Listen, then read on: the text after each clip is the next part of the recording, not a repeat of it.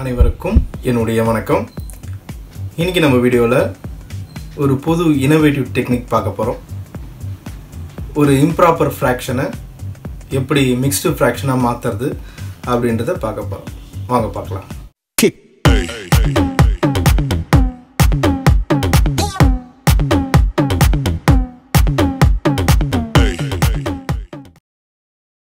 முதல்ல ஒரு improper fraction நம்மளுக்கு தேவைப்படுது. ஸோ இது வந்து லெவன் பை டூ அப்படின்னு ஒரு இம்ப்ராப்பர் ஃப்ராக்ஷன் எடுத்திருக்கேன். ஸோ இதை எப்படி வந்து ஈஸியாக ஒரு மிக்ஸ்டு ஃப்ராக்ஷனாக மாற்றுறது அப்படின்றத இப்போது நம்ம பார்க்க போகிறோம் இந்த டெக்னிக்கு யாருக்கு யூஸ் ஆகும் நீங்கள் பார்த்தீங்கன்னா ஸ்லோ லேர்னர்ஸ்க்கு ரொம்ப யூஸ்ஃபுல்லாக இருக்கும். ஸோ அவங்களுக்காகவே இதை நம்ம டிசைன் பண்ணியிருக்கோம்.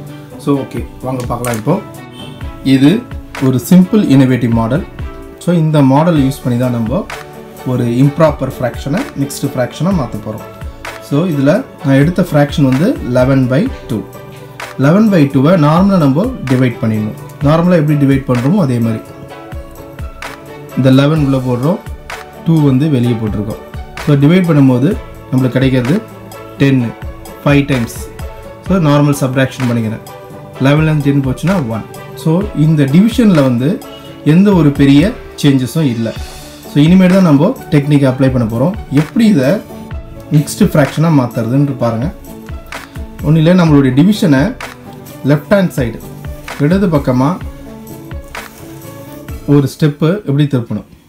ஸோ இப்படி திருப்பினதுக்கப்புறம் நம்மளோட டிவிஷன் பார்த்தீங்கன்னா கம்ப்ளீட்டாக எல்லாமே லெஃப்ட் ஹேண்ட் சைடு திரும்பி இருக்கும்.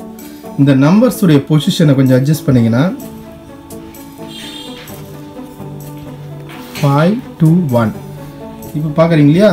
ஸோ இதுதாங்க ஆன்சரு ஃபைவ் உடைய அதே பொசிஷனை வந்து நம்ம இங்கே எடுத்து எழுதிக்கணும். ஃபைவ் அதுக்கப்புறம் டூ கீழே இருக்கிறதுனால அதே டினாமினேட்டரில் டூ அது மாதிரி ஒன் ஒன் மே இங்கே மேலே இருக்கிறதுனால அது அப்படியே மேலே நூற்றிடும் ஸோ ரொம்ப சிம்பிளாக வந்து மிக்ஸ்டு ஃப்ராக்ஷனாக இது மாதிரி